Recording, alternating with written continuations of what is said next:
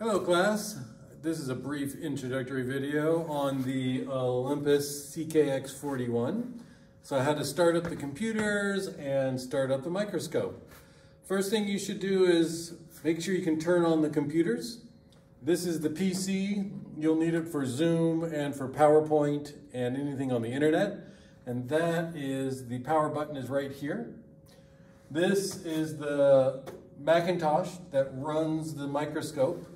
Here's the microscope. So take the cover off. You can put it back here. And the microscope is run by the Macintosh and the power button for the Macintosh is on the corner back here. So both the powers are sort of hidden. Push them in, and then the monitor button is here and here. If nothing is coming on, then the power strip is off. The power strip is down there below, okay? This one logs in onto student. Log in. And then this one, you also do student. Okay?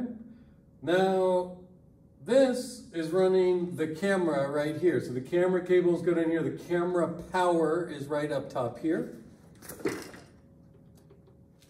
And the power for the microscope for the bright field is down here.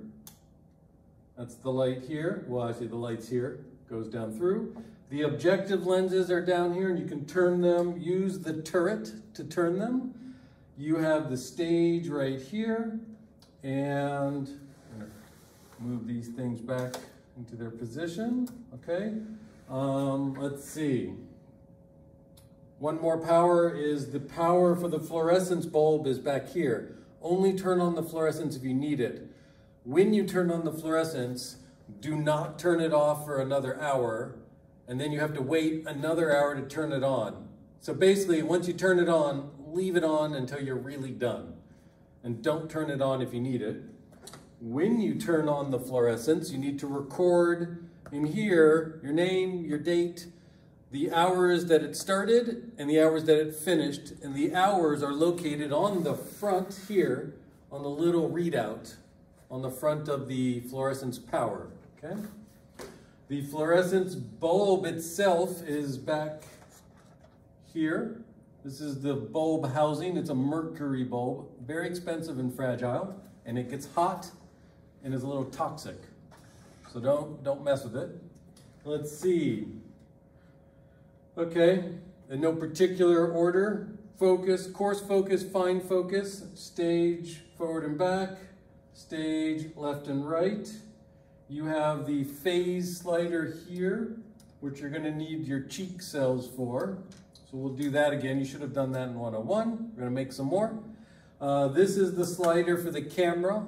All the way in is just the oculars. Halfway is 80% ocular.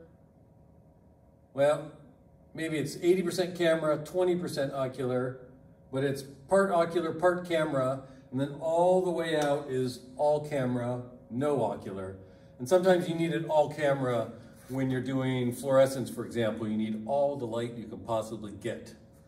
Um, let's see, this is saying there's a new version of LASX software. You can just hit no, but I am now canceling that. So don't update the software. This is only for PC use, and you're gonna need your USB to go from here to there. The USB you need to you need to stick the USB in the back of this. It's a little bit of a pain, but this is an old camera and it only plugs into this. We can't plug it into the new one, so we're sort of stuck. You need two computers. And let's see, what else do you got? Oh yeah, fluorescence slider is down here. There's a, there's BF, B, and G. Bright field, blue, and green. Bright field is just the regular white light. B is in the middle, so right now I've pushed it all the way this way, and that's BF. If I go to the middle, sort of where it clicks, that is B, blue light excitation. And then if I go all the way to the left and feel it click, On the other side now I can see a green with a little dot below it and green is green excitation, red emission for fluorescence. So we want to start in bright field, so we'll put it here. And bright field bulbs here. If you don't want phase, you take this out nicely. It's just a plastic slider and put it on to the side and then just leave it there. And if you're going to, so most of your samples in the beginning will be this, no phase. I think we do the cheek cell week two or something. You're gonna get a box like this and you're gonna label it with your name. It'll be your box. Inside right now, this is how you open it. Gotta squeeze it. Make sure the slides don't fall out. The little part is the top. It'll say top on it, okay? Looks like this. Then all of these slides, they're in here and there's a whole set of them and you can transfer from here into here because this is a better slide disc. This one is sort of a pain. It doesn't lock closed and so it can all fall out. But it's a whole bunch of plant samples in here. And inside here is one corn and one onion root tip, okay? And we're gonna start with the corn slides and you're gonna do Project Zoom and then some fluorescence, okay? So these are your two slides. Let's see, what else? Oh yeah, you start the QImaging software here. Oh boy, this, oops, that mouse is that. This mouse, oops. This mouse here, you go down to the bottom and you want to start the Q Capture Suite. That runs the camera, okay? Start that and you get this, it's a little window and let me see if I can zoom in here for you.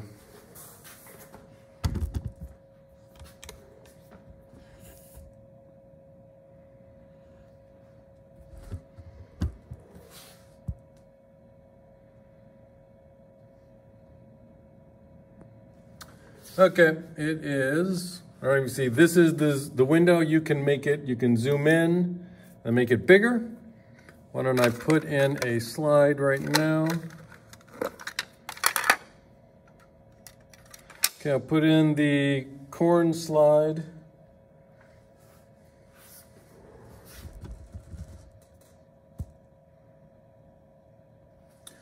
Okay, because it's an inverted microscope, the objective lenses come from below. So you have to take the sample and flip it upside down, okay? So you gotta flip it down and you never touch the sample. Do not touch, like do the sides or right here, okay? So we're gonna take it and turn it upside down. There. Go down below here. Go to red, which is the, the red turret is gonna be 4X.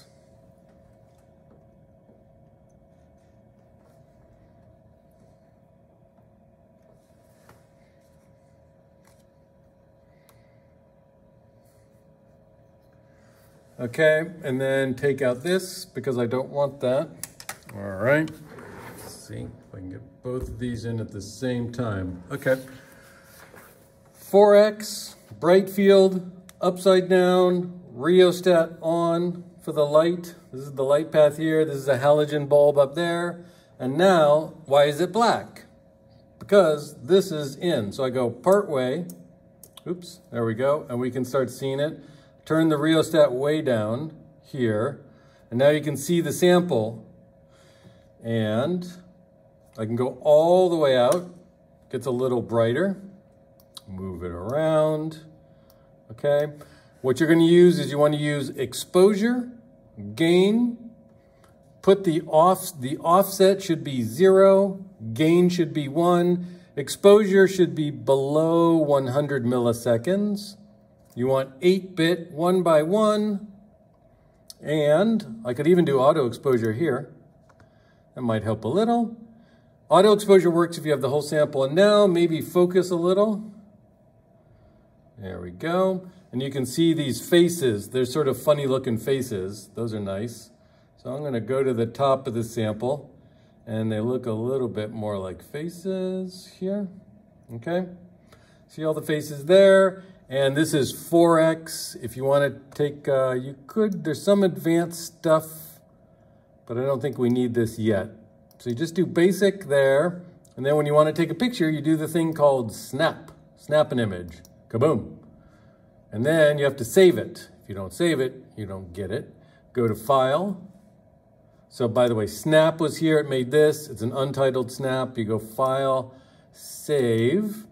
And then it's going to ask you where. And I want to do desktop. Okay. I'm going to make a new folder for BioSci 102 Fall 2021.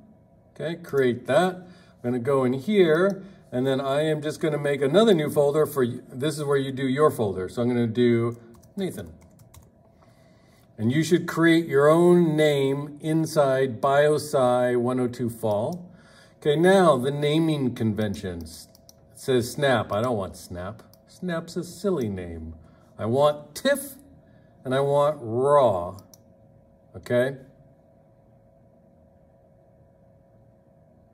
Oh no, I want processed. Processed in TIFF, but the name is NP space 082621. So initials, space, month, month, date, date, year, year, space, uh, corn slide, bright field, 4x. Okay, take that, hit save, boom. I don't need that anymore. Now I'm gonna go down here up to 10x. And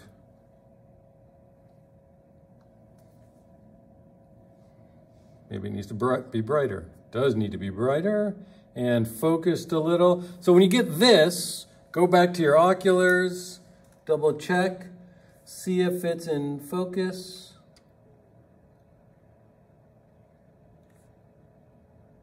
There we go.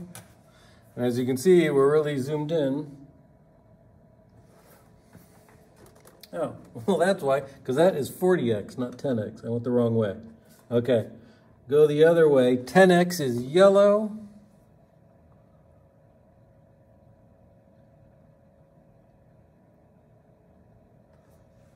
And too bright. So turn down the, my rheostat until I get it. There we go. Needs to focus a little there. Perfect. And you could adjust these exposures if you want to. You could do auto exposure and then snap the image, save the image, save as or just save, it doesn't matter. I'm back in Nathan here. And so here's the tricky, you can just click the old one that has all my information, except it'll overwrite it. So I don't want to overwrite it. I want to put 10x. Boom, done. And then so on and so on. You do 20x and 40x. And take them all and that's zooming in. And then you're going to do some overlays with fluorescence. So I hope my head wasn't in the way too much. And I hope you could see that all. And uh, welcome to class. Bye-bye. Oh yeah, one last thing. You'll need to transfer all this to your zip drive, USB, and then put it over there. All right, welcome to class.